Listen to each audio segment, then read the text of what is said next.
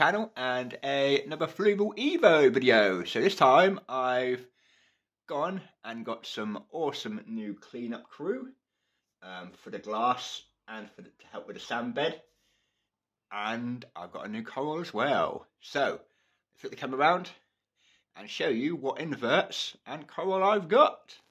So I went to my local fish store and spent quite a bit of money so we have in here one peppermint shrimp. I've got no shrimp in the aquarium, so I thought why not give a peppermint shrimp a go and see how we get on with a peppermint shrimp.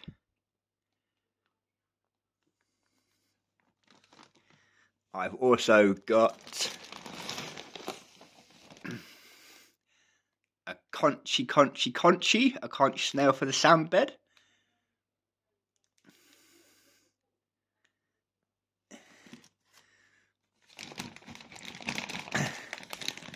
And last bag. So, we've got some snails for the glass. And also, as you can see, there's a massive snail. I thought this was pretty cool. There was a massive snail shell in one of the aquariums. And it had Pulsing Xenia on it. Pulsing Xenia on a snail shell, which I thought was pretty awesome. I thought that was pretty cool. Pulsing Xenia on a snail shell. Obviously, some people are going to say, where did you get Pulsing Xenia? I like Pulsing Xenia. I know it must really take over quite a bit of the tank, but I do some rearranging. So hopefully these snails will start tackling the glass. This one wants to tackle the rocks and do whatever. The conchy for the thing. I'm going to do some rearranging. I'm going to isolate this big snail shell with the Pulsing Xenia on and change the tank around. But yeah, an awesome little haul. So I get them all I get them all acc- acclimated, get them in a tank, and obviously show you them all when they're acclimated and stuff. And obviously I turn the light blue as well and give you a video of when the light's blue so we can check a look at the corals and that. But awesome little haul peppermint shrimp, an orange conch, a couple of um, Trochus snails for the glass, and a massive snail shell that comes full of Pulsing Xenia. awesome stuff. So, we got our um, Pulsing Xenia down there on the shell. Um, I've moved my Duncan rock over to this side. I'm not bothered if the Pulsing Xenia covers that smaller rock. I just don't want the Pulsing Xenia messing with this rock over here. Because I love this rock. This has got my Superman mushroom, my two Duncans, and my clove polyps. So that rock there, if the Pulsing Xenia spreads up there, I'm not worried about it. We've got our conchy conch snail there.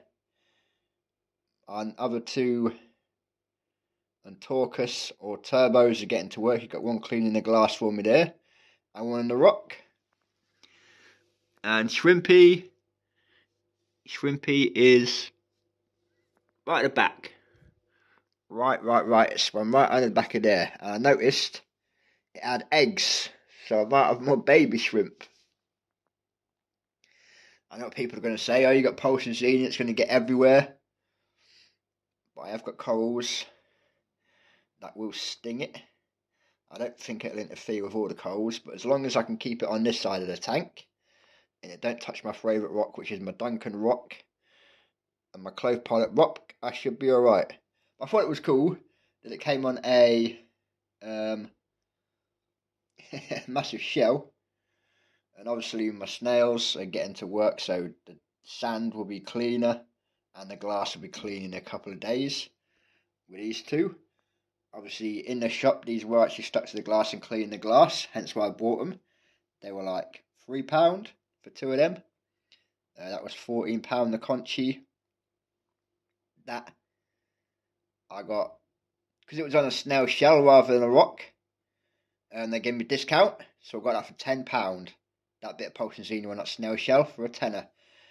And obviously the snail cost me 15 not the snail the peppermint shrimp cost me 15 pound. It's not bad. Two new snails for the glass.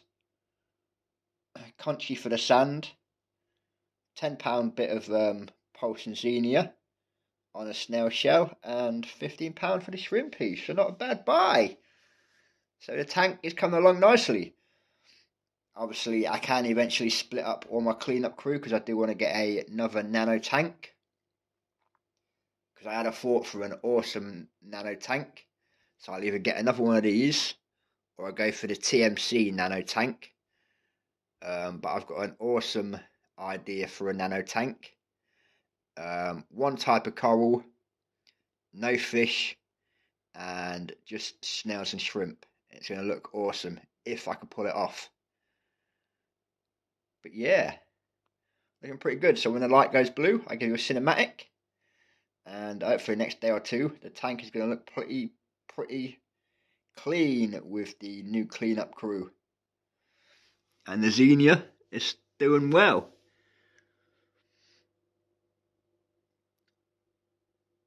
So obviously I can start pulsing stuff. And hopefully spreads, maybe to the glass, to the back wall.